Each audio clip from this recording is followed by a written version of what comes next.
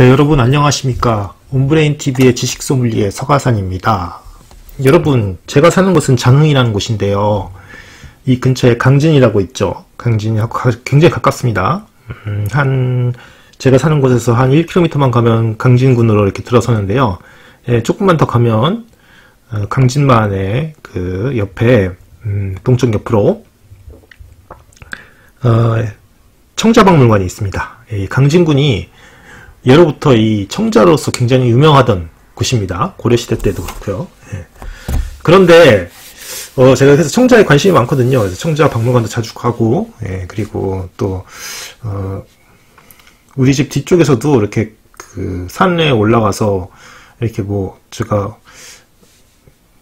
그 뭐지? 그 겨울에 장수풍뎅이 애벌레 좀 잡으려고 이렇게 땅을 파다 보니까 사금파리들이 엄청나게 나오더라고요. 청자들도 꽤 있었는데, 그래서 여기가 참 청자 문화권이라는 것을 실감하게 하는 그런 곳이거든요. 근데 이번에 전북에서 예, 또 어, 초벌구이 전용 칸이 완벽하게 보존되어 있는 고려청자 가마가 확인됐다는 소식이 있어서 이거 여러분께 소개해드려 가져와 봤습니다. 예. 어, 전북인데요, 그렇죠? 그래도 뭐 같은 전라도죠. 예, 그래서 한번 소개를 해드릴게요. 서울신문인에서 가져온 기사고요. 음, 작년 기사군요. 예, 전북 부안의 유천리라고 하는 곳에서 유물 퇴적구에서 초벌 청자가 다량 출토됐다. 이게 굉장히 중요한 소식인 것 같습니다. 이게 초벌 청자가 그 전까지 초벌 청자의 터 같은 거는 발견됐지만 초벌 청자 자체가 다량 출토된 건 거의 없었다고 그러는데요. 이게 지금 발견됐다고 합니다. 초벌구이 전용 칸이 완벽하게 보존된 고려 청자 가마가 발견됐다.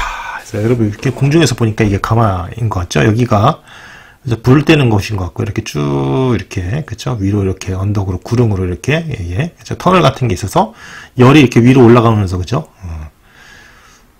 그 청재를 굽는 거죠 예. 예. 문화재청과 부안군 전북문화재연구원은 현재 발굴 중인 전북 부안의 유천리 요지 가마터 그죠 육, 여섯 구역 가마에서 초벌 전용 칸이 있는 고려청자 가마 두 개를 발견했다 이거하고 이건가 보죠 그죠 어. 계속 확인해 봅시다. 서적 제69호인 유천리 요지는 고려시대 최고급 상감 청자를 비롯해서 다양한 자기를 제작한 곳이다.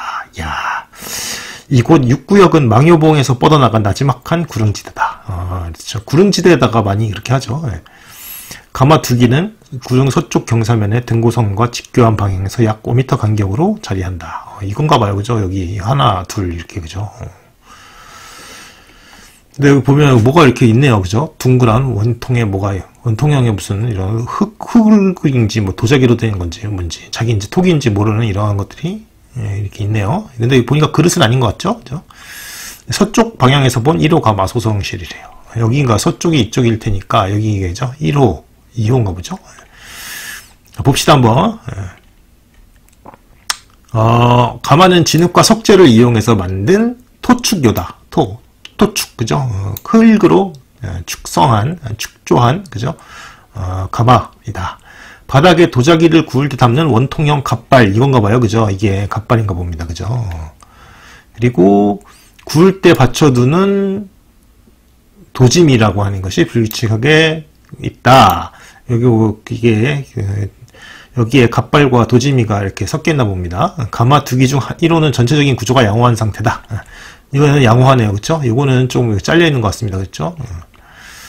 음, 음, 전체 길이가 25m고요. 연소실이 1.6m. 굽는 고겠죠? 그죠? 소성실, 어, 토기를 굽는 소성실이 19m고, 연소실. 어. 아, 이렇게 불을 떼고, 그죠? 그 다음에 그거를 이렇게 위로 이렇게 올려보내나 보죠? 열기를, 그죠? 어. 그렇게 해서 소성실이다. 특히 가마 맨 끝 부분에 석재로 만든 배연 시설이 있다.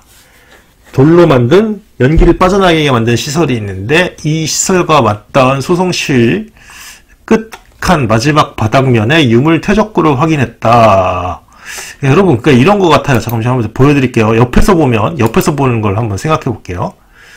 자, 옆에서 보니까 여기, 여기가 이렇게 연소실이 있다고 해보세요. 여러분, 이렇게. 연소실이 있어서, 여기서다가 이렇게, 그, 나무를 넣고 불을 떼는 겁니다. 근데 이렇게 위로 구릉이라고 돼 있어. 그 위로 이렇게 올라가죠. 이렇게 올라가 있고 터널이 있고요. 이렇게 터널처럼 구릉으로. 그래서 여러분 이렇게 해서 소송실이 있고 여기에 그 석재로 되어 있는 배연 시설, 그죠? 그 연기가 빠져나가게 굴뚝 같은 게 있다고 해봅시다. 그죠?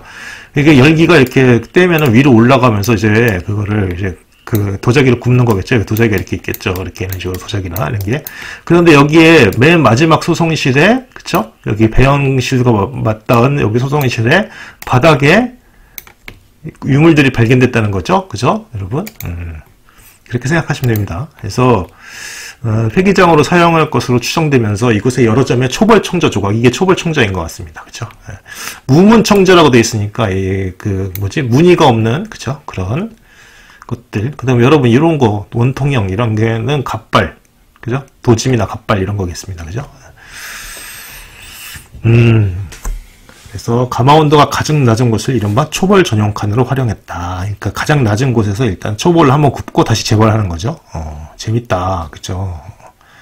그래서 고려청자 가마에서 초벌칸을 운영한 앞선 사례로 강진 사당리 43호가 있다. 여기 그 제가 말씀드렸죠? 강진에 이런 어, 그 도요지가 많다고 말씀드렸죠. 가마터가 많습니다. 예, 그러나 이번에 초벌칸과 연결된 유물 퇴적구에서 초벌청자가 다량으로 나왔다. 이게 초벌청자입니다. 그죠? 어. 재벌 구이 하기 전에 그죠?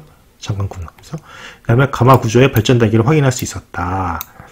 그래서 문화재청은 배연시설과 초벌칸, 초벌칸과 연결된 초벌청자 유물이 나왔다라는 것은 학술적 가치가 높다는 거죠. 아, 여러분 이렇게 보면요? 우리나라에 아직도 숨겨져 있는 유적, 아직 발견되지 않은 유적이 얼마나 많은지 알 수 있죠, 그렇죠? 재밌습니다. 예. 그래서 이게 지금 제가 어, 재미있는 그래서 지금 유물 소식을 또 전해 유물 유적 소식을 또 전해 전해드렸고요. 어, 또 내일 또 더 재미있는 정보로 여러분 찾아뵙겠습니다. 예, 항상 감사하고요. 예, 좋아요와 구독은 큰 힘이 됩니다. 예, 부탁드리겠습니다. 감사합니다.